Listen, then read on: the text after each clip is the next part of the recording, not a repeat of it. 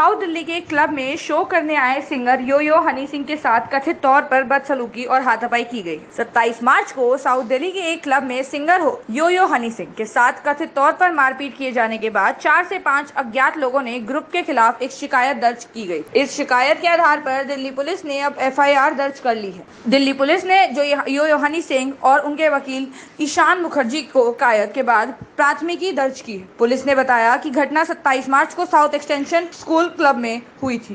प्राथमिकी के अनुसार यो यो हनी सिंह 26 और 27 मार्च की दरमियानी रात को क्लब में परफॉर्म करने आए थे। तभी 27 मार्च को रात को शो के दौरान चार से पाँच लोगों का एक समूह जबरन स्टेज पर चढ़ गया और कलाकारों के साथ धक्का मुक्की शुरू कर दी। एफआईआर में कहा गया है, चार से पाँच अज्ञात लोगों ने स्टेज पर दुर्व्यवहार करना शुरू कर दिया और शो को बाधित कर भरे शो में उन्होंने बियर की बोतलें दिखाई और कलाकारों के साथ धक्का मुक्की की और मंच से धकेल दिया। उसके बाद चेक शर्ट में एक व्यक्ति ने मेरा। यो यो हनी सिंह का हाथ पकड़ा और मुझे आगे की ओर खींचने लगा। मैं इसे बचने की कोशिश कर रहा था, लेकिन वह शख्स मुझे चुनौती दे रहा और धमकाता रहा। मैंने यह भी देखा कि इसके पास लाल शर्ट में एक अन्य व्यक्ति वीडियो बना रहा था और कह रहा था, भगा दिया हनी सिंह।